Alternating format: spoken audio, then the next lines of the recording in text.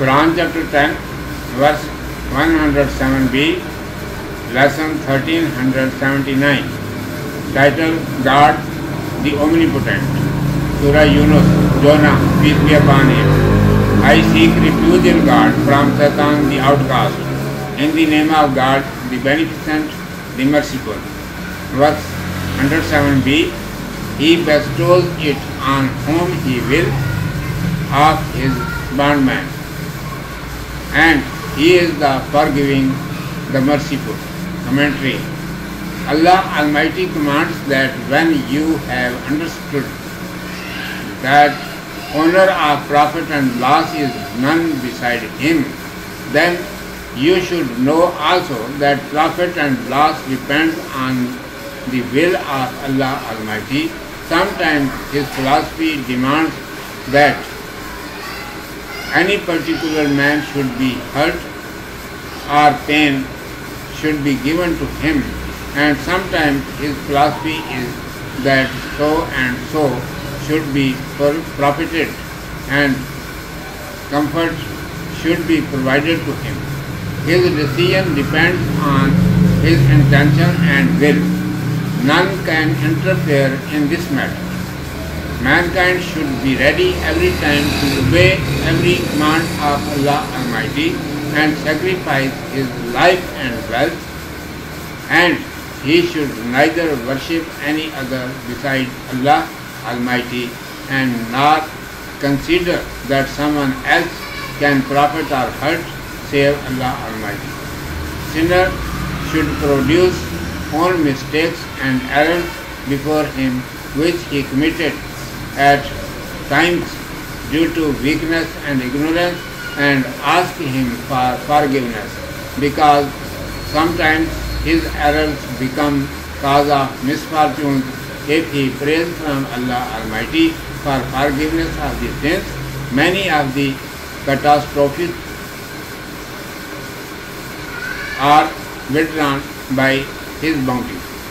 Allah Almighty has called to understand in this verse by saying himself the forgiving, the merciful, that all profits and losses are in his power but mostly apparent reason of harm is mankind's infirmity and forgetfulness, and cause of benefit is mankind's submission and humility before Allah Almighty and acting upon His instructions.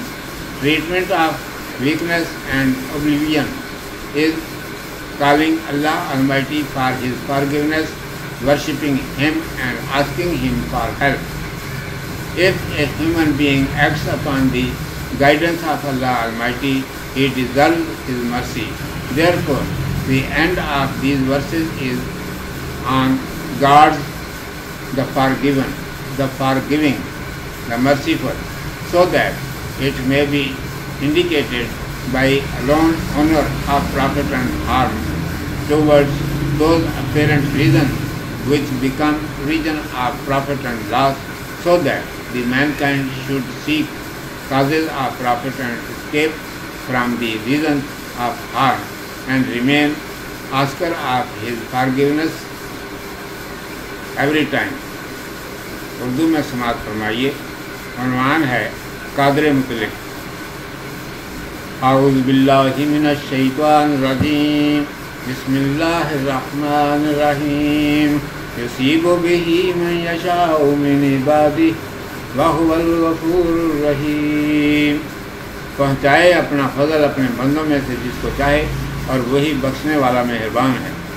ارشاد ہے کہ جب تم سمجھ چکے کہ نفع اور ضرر کا مالک سوا اللہ کے کوئی نہیں، تو یہ بھی سمجھ لو کہ نفع یا ضرر اللہ کی مرضی پر موقوف ہے۔ کہیں اس کی حکمت کا تقاضا یہ ہوتا ہے کہ ایک شخص کو نقصان یا دکھ پہنچنا چاہیے، اور کہیں مسئلہ اس میں ہوتی ہے کہ ہر ایک کے ایک شخص کو فائدہ اور آرام پہنچنا چاہیے۔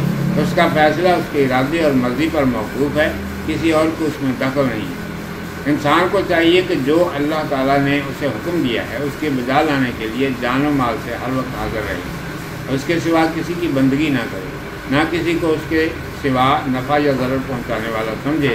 اپنے قصور اور خطائیں جو کمزوری اور نادانی سے سرزد ہوتی رہتی ہیں، اس کے سامنے پیش کرتا رہے اور اس سے مغفرت مانگتا رہے، کیونکہ بعض وقت اس کی کوتاہیاں مصیبتوں کا باعث ہو جاتی ہیں۔ اللہ تعالیٰ سے مغفرت مانگتا مانگتا رہے تو اس کے فضل سے بہت سی آفتیں ٹل جاتی ہیں۔ اللہ تبارک و تعالیٰ نے اس آیت میں اپنے آپ کو غفور و رحیم کہہ کر یہ سمجھایا ہے کہ نفع و ضرر سب میرے اختیار میں ہے۔ لیکن اکثر ضرر کا ظاہری سبب انسان کا ذوق اور نشان ہوتا ہے اور نفع کا سبب انسان کا اللہ تعالیٰ کے سامنے عزت و انتقال اور اس کی ہدایتوں پر عمل کرنا ہوتا ہے۔ ذوق اور نشان کا علاج اللہ تعالیٰ سے مغفرت طلب کرنا، اس کی عبادت کرنا اور اس سے مدد مانگنا ہے۔ اس کی ہدایتوں پر عمل کرنے سے انسان اس کی رحمت کا مستحق ہو جاتا ہے۔ اس لیے ان آیتوں کا خاتمہ الغفور الرحیم پر کیا ہے تاکہ نفع اور ضرر کے تنہا مالک کی طرف سے ان ظاہری اخبار کی طرف بھی اشارہ ہو جائے جو نفع اور ضرر کا باعث بنتے ہیں، تاکہ انسان نفع کے اسباب تلاش کرے اور ضرر کے اسباب سے بچے اور ہر وقت اس کی مغفرت کا طالب رہے۔